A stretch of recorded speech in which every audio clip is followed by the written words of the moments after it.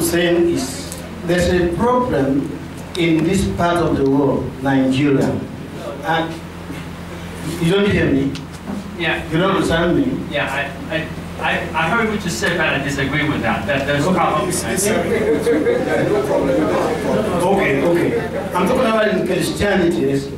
So we inherited some things from the Western world. That is wearing of trousers to, to uh, women wearing of trousers. The women have to wear dresses? Uh-huh. That women that wear trousers. Okay. And uh, the, the people who went to, who say they went to hell and went to heaven, Okay. says, Okay, thank you. Now, that's terrible. it's terrible. There are people say women who wear trousers will go to hell. I mean, this is superficial. The Bible never said that. You notice when I say he who go to hell are the people who don't have the real faith in God, they don't repent, who don't turn away from God, and who don't obey God and who don't have a good relationship with God and who don't serve God. But we're not saved by doing good. We're saved by trusting in Jesus as our Savior. So we're saved by grace through faith. But when we are saved, we have good works. But the good works doesn't include wearing dresses. That has nothing to do with the relationship with Jesus. It's just a custom of some people. The women go to church like to wear dresses, but it doesn't matter. We have to discern. We have to discern what is the important thing. What is the important thing?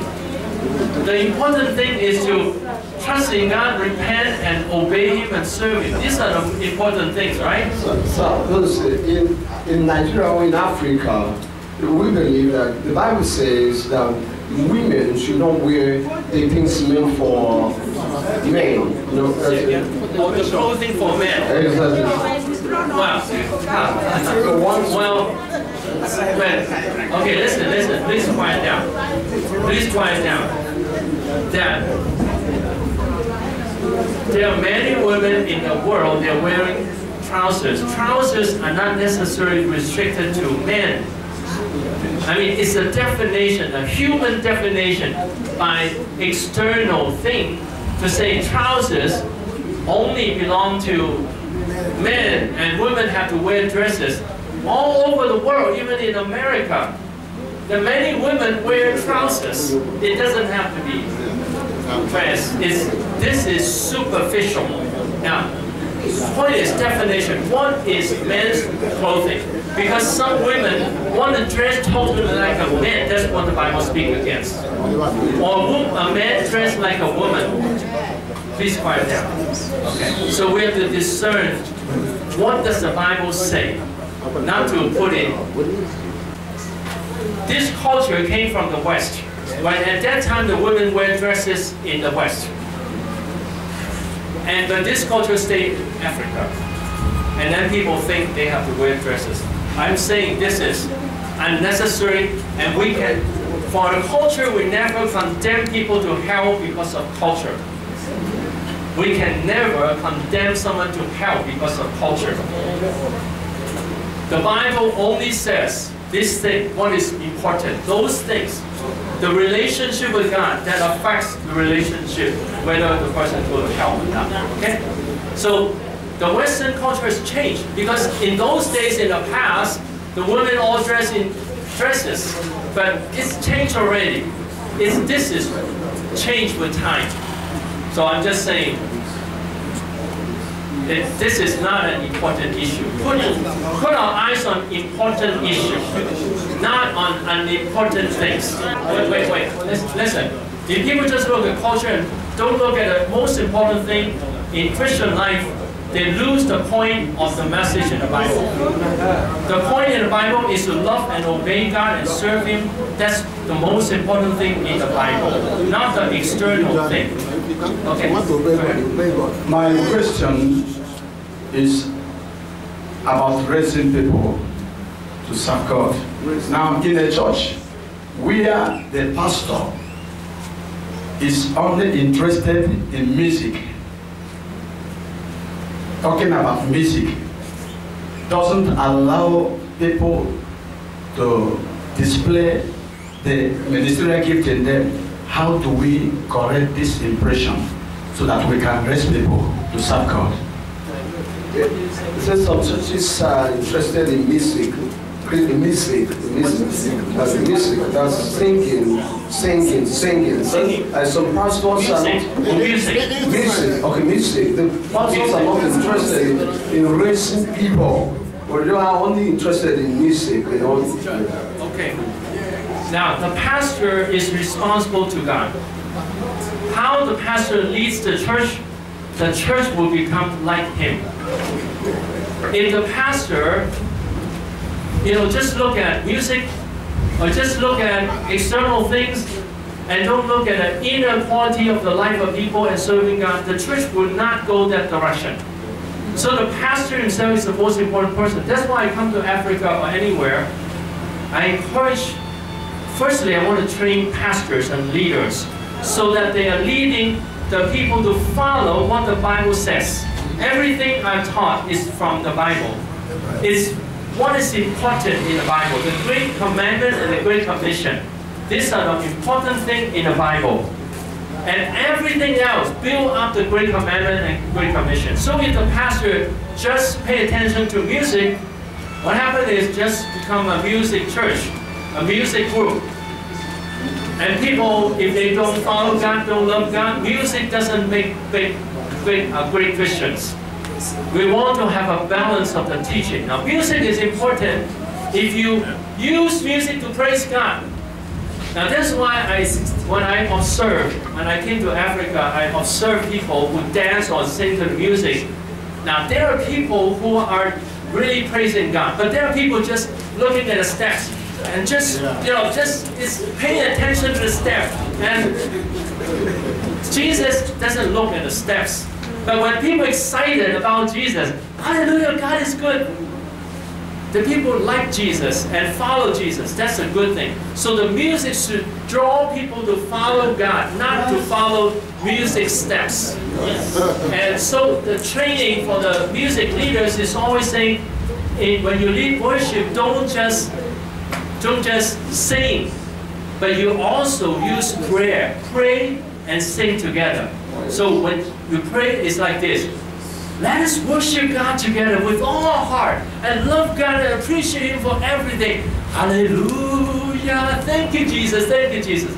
All this time is showing the gratitude and the love for God. This is true worship. True worship is not just the dance or the music. So it's very important. But some pastors say, I have great music, many people come. Well, if they come, we have to teach them. There must be teaching. And also I want to say this about teaching. I noticed there was some teaching I was listening to some message. It was about anointing. I cannot you know, repeat the message, but it was something like this. Anointing is great. Anointing is powerful. Anointing can bless your ministry. Anointing bless your whole life. Anointing is great. Hallelujah. Anointing, anointing. I hear all this. So what did he tell the people to do? I don't get anything what you tell people to. He just say, anointing is good, anointing is great. Hallelujah, anointing. We're not, not preaching anointing, we're preaching Jesus and God, not anointing. So sometimes people preach with, you know, just shouting and without content.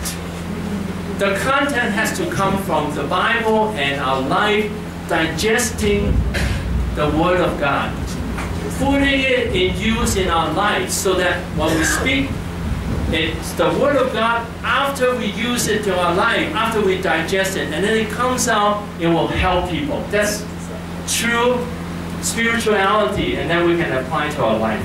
So I hope everyone here will try to do that. When you learn the Word of God, it's for applying to our life so we can share with people. It's not just superficially learning. The question is if uh, someone's trying to serve God and help people, but then the senior pastor will stop him and accuse him. Is that what? Okay. Now I want to say this. Please stand here. so you know. Now my response to this is my response is my response is we try to work with the pastor and the church. And I want to say this. submission to the pastor is not equivalent to submission to God. We are submission, we submit to God. Number one, we submit to the pastor when the pastor is following God. Now, I hope you don't mind me saying this. If we are in a church and the pastor doesn't care about the people, just care about money and care about number, and doesn't care about people, we have the freedom not to serve there. Now, I'm not, I'm not telling you to leave your church. I'm just saying it's very important that people have to be, they have to have the same heart to serve God together. If they don't have the same heart toward God, on the long run, we're going to have trouble. You try to help people and then you'll be accused. It doesn't work and then it blocks, stop your life and ministry. So in that case, I think the person has the freedom to go and find another church or to start his own ministry. It's up to the guidance of God. But he should first communicate with the pastor about this. Communicate with the pastor and try to find a solution. See if there's a solution. And if the pastor insists on his way and doesn't listen to the people, then it's up to the person to decide. I'm not telling you to do any action now. I'm just saying that's a general rule. That's a general rule. And as a senior pastor, we have to really fear God and know that our decision affect the lives of many people. We are affecting many souls in the church and the people who come to the church. We have a very high responsibility. And God will one day ask us, why did you do that? God will ask us. So as a senior pastor, we have the responsibility to be careful about our life and what we do with people. If the pastor sees someone who is helping people and he stop him, he's stopping Jesus Christ. And Jesus Christ is not happy with that. So, so it's something we need to handle. But we have to be careful because sometimes there might not be this issue. Sometimes just a personal issue. We, we try to soften relational problem, soften the relationship, and instead of making it more difficult. Okay? Okay. Praise God. In the course of raising people to serve God, if you assign duties to them and teach them how to do it, and finally find out that they are not willing to do it, They're what will you do? right? Yes. After training them on how to do it. Okay. So the actually the first step is to ask if they're willing. So with the final people who, as, uh, when I uh, spoke earlier, I said first the final people who really learn and who want to bless other people. And then you ask them, are you willing to come for training? And then they come for training. So they, we ask for the willingness. And in the process, if they're not willing, there could be many reasons. Maybe they're weak, maybe now there's some reasons that stop them. They try to overcome, but they cannot overcome. Then we try to help them. But if someone really doesn't want to serve God at all, then he should not be in the ministry team. If he doesn't want to serve God at all. So we'll find out in the process. Is the problem is that uh, you find it difficult to do it, or is it you don't want to serve God? It's two, different things. But we try to change the mind that they want to serve God. But if we find people who are problematic, then problematic people actually, people who continue to sin and hurt other people, they should not be serving God. They should handle their lives first. Now weaknesses, people should overcome and they can still serve God. But if they have rejected God, they are hurting people, people will hurt people, they should handle the problem first before they serve God. Okay. Praise the Lord. My question comes like this, or goes like this. Sometimes I want to know the best measure to be used, a minister to use to raise up somebody to serve God. Sometimes when we use anger, anger works. When we use love, love works. I want to know the best measure to use Okay. to. Okay. Now, to me, according to the Bible, as I said in the first day, love is always the motivation. The law is what to do. If we use the law to motivate people, what happened is then people say, I have to serve God today, I have to serve God today. But if they have the love of God, they see God is so full of love. They want to love God and follow God. If people serve God because of fear, I don't serve and then I'll go to hell, I have to serve God. Then they would just do the minimum. They just do the superficial. But if they have a heart to understand the good nature of God, the love of God, then they have a long-lasting motivation. But when they have the love of God, they should obey. So I, from the Bible, I see that Jesus did not motivate the people by beating the head and say, you have to serve God. He did not motivate people like that. He would motivate people and say, you will be a catchers of men. And you will do great things, even greater things than I do. And, and God is happy with what you do. So God uses a lot of, of, of motivation in love. But at the same time, if you pay attention to what I said, I have grace and the law together. Did you notice?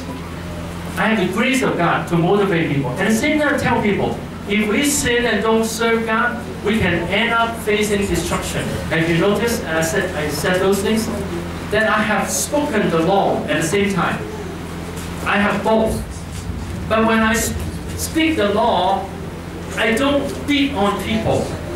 Unless if someone is not repentant. If someone is not repentant, then I'll say, you don't repent, you can face a severe punishment of God. You can lose everything you have. Can you afford to lose your anything you need? If you lose anything, you lose an arm, you lose a leg, a leg, you lose your health, you lose your money. Are you willing to lose this thing? You know, God can take any of this away from you. Are you afraid of God? When when people don't follow God, then I would warn them. But I warn them still in a gentle way. Only when they are very resistant and very stubborn mm-hmm. and insist that I will. I still won't use angry words. I will just say, you have to face the judgment of God. Are you afraid of God? I think that, that is more powerful than saying, God will punish you today. You will die today when you go home. I just, I just, I just don't, I just don't think that um, that uh, that's the most effective way. I don't think that's the most effective way. Now, it's true, some people you yell at them and then they repent, but that's only for a short time. Some people like pastors to yell at them and then they, they I'm really sorry for my sin, and they cry and they cry and okay, I'll serve God. That's only for a short time. They need people to yell at them all the time. So I, I think it's, and I encourage all the preachers here and all the teachers here, really see how loving God is. Now, I did not have enough time to talk more about the love of God, but spend more time reading the Bible and think about the love of God, His wonderful nature. And we, the more we understand the wonderful nature of God, the more we want to serve God. And when we serve Him, He remembers everything and rewards us is the best thing. And He can give us anything He wants to give us. So I, I prefer to encourage people. The motivation should come from the grace of God. And the what to do is from the law. Okay. Now, uh, please be brief and then I try to answer the questions briefly. Okay. All right. Um, the question I want to put across is, uh, I remember in your teaching about motivation to raise up the people we are leading. And um, there's a particular issue. You see, in this part of the world, I don't know, it may apply in other places, that what we have seen here is what I'm talking about. Yes. Now, you, you notice that you want to, you look at the congregation, and there's somebody there who, so to say, is a money bag. He is sponsoring, supporting the church financially. And somehow he's living a secret sin. And you want to reprove him. And you discover that some of the money, is, a lot of money is coming from him. You might want to refrain. At a point, you might decide to go against him. And his influence will take a lot of people away from that church. And he might eventually end up in another church, and the pastor will accept him without asking questions. So when such a thing comes up again, the pastor may be tempted to return the person and compromise. So he said, tell him, I don't know how to handle that. So that is exactly, I want you to throw some light on it. Okay, your question is so how to handle people who are sinning and yet they are giving a lot of money to the church. Yes. And I want to say this the more we give in, we are giving the devil a foothold into the church. The church can never be good again. Once this person controls the church, and we need to talk with the person and say, I'm thankful you have a generous heart to give. It's very good. And, and the Bible says that if we have a holy heart, a sincere heart, and face our sins, and God will remember all your giving. If not, your giving will be wasted. God won't remember. So do you want to be remembered? So we guide them to understand if we have a good heart when he gives, then his giving will stay in the kingdom of God. So we approach him from his perspective to encourage him to change his life. You understand? Instead of kicking him out first, but we try to change his life. If he continue to have an affair and doesn't want to repent, then we want to keep talking to him until he repent. If he doesn't repent, then we have to say he has to sit on the sinner's bench. And he probably won't sit there, and then he probably will leave. It's okay if some people, and then we explain to the people, this is why he has he left. Now, if you follow him, you're like him. It's up to you.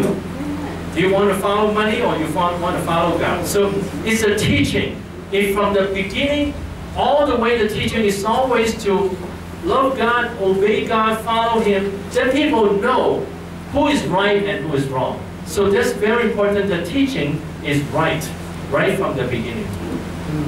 Thank you, sir. So my question goes like this. On the side of your teaching that says caring and compassion. In a church, let's assume that I am a senior pastor there. And at the end of the year, we have Thanksgiving. And after everything, I took everything home without caring about others. Is that right? That's my question. Praise God.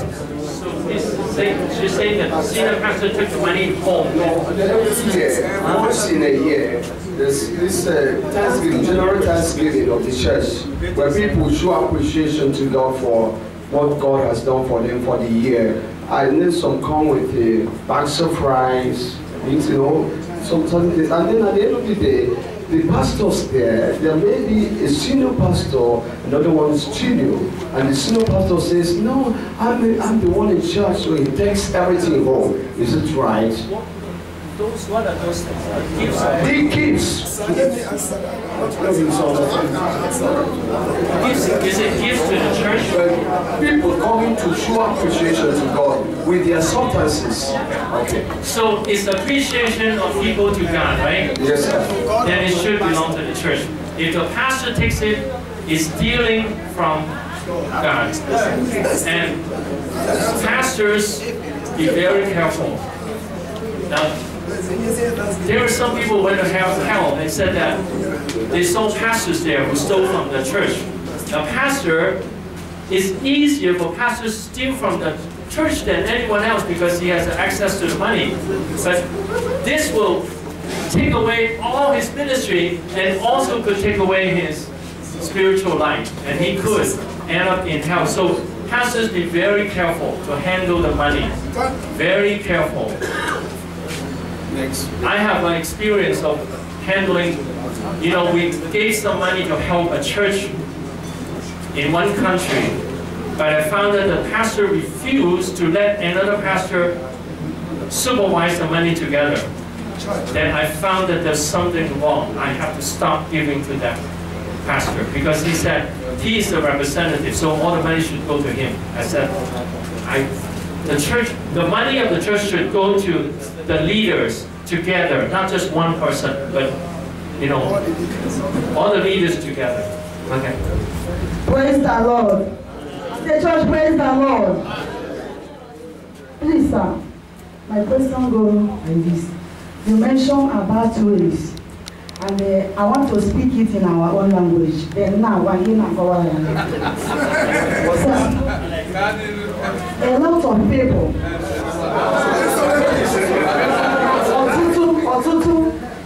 Igbo anyị ndị naijiria anyị ụmụnne anyị the lord ha nwere disease chineke kpọrọ ha ọkpụkpọ oku ee god them mana ha enweghị ihe eji eje ozi ahụ. Dị na nghọta ihe m na-ekwu financial help ma chineke kpọrọ ha.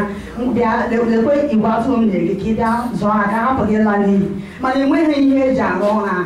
Maybe enweghị ego o ji as even bands nkịtị enweghị even to rent uh, land to build ịma Nigeria na ịma ihe anyị na-agabiga so ị ga-ebule emechazie igwe atụrụ na chineke nyegara ya bezie a na-akwado dị pastọ mmadụ ihe ọ na-eme o nwere zil ịrụ chineke dịrị ya mana enwezi ihe ọ ga-eji were jee ozi ahụ so m na-ajụ na ajụjụ a ga-ebule dị pastọ ka a ga-ebule m poverty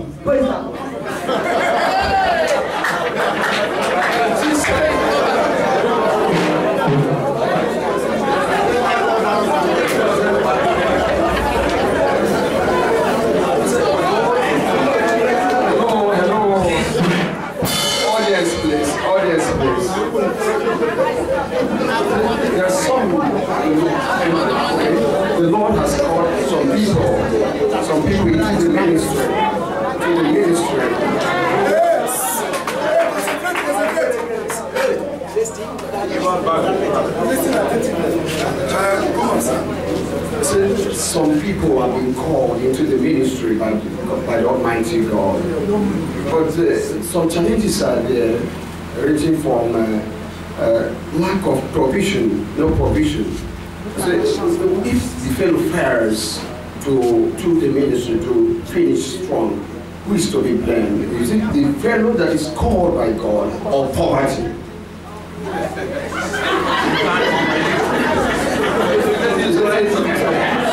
Whose fault is Who fault? Is it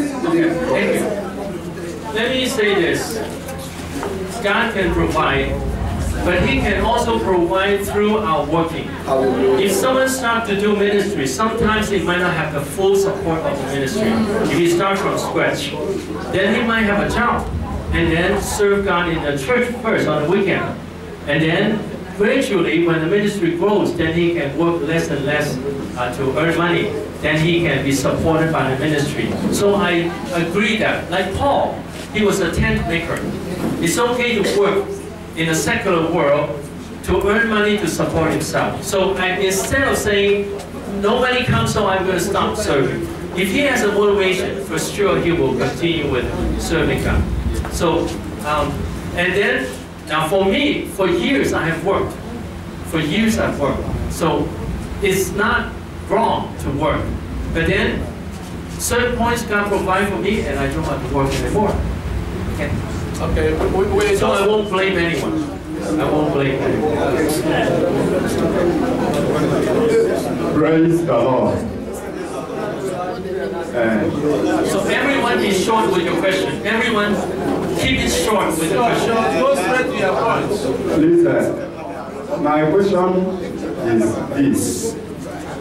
Uh, in our attempt to raise people in our churches, now, uh, is, is discipline in the church, is, is it no longer uh, uh, right now or uh, should we just maybe accommodate anything that is done in the church in order to show love and uh, maybe retain people? Or should we maybe a senior pastor should the senior pastor stand on the word of God and they discipline any erring member? If a senior pastor does that is it an act of wickedness or is it uh, maybe the pastor standing on the word of God Okay. I start saying this. uh, the- Discipline is a part of what we're doing. And some Christians are very unruly, you know, and uh, I know the Bible says we should correct one another. And some people, when they are corrected, they may decide to leave the church and the pastor will be blamed, you know. Some other members will say, Pastor, why did you do this? The pastor should not be blamed. In the process of handling, disciplining someone, it's best not just the pastor alone. The first time it should be the pastor. If the person doesn't listen, then have a few leaders together handle the problem. So then the responsibility is not just on the pastor. But if someone leaves, it's not anyone's fault, unless if the pastor handled it in a very rough way. Now, so when I talk about the way we speak, especially it will apply to pastors. Don't speak in a rough way and yell at people, why did you do that? Why did you do that? And then people will run away because of the way he speaks. So we have to be careful with our wording. Church, praise the Lord. Sir, please, I have a question. My question based on my question based on restitution. There are some people restitution. There are some people when you when you tell them about restitution, they will tell you that there are some churches.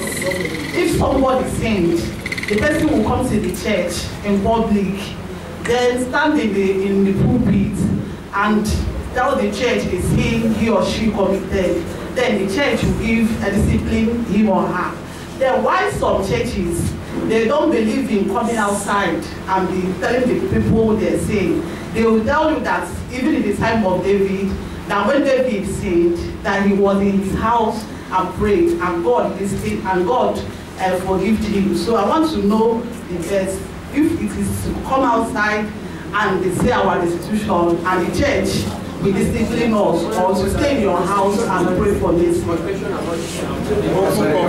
The case of restitution, some churches would want the members who have erred to come publicly to, to confess. Uh, done this, please pity. And then some churches will say, no, David had to ask for forgiveness in his house. So you ask for forgiveness in your closet. So which one is right?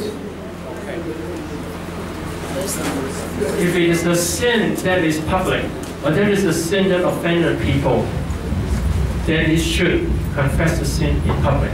Okay. If it's a daily sin, we confess to God. But then when the person has been excommunicated or has been disciplined, that must be a sin that is already known to the people. Then if it's known, then he should confess publicly.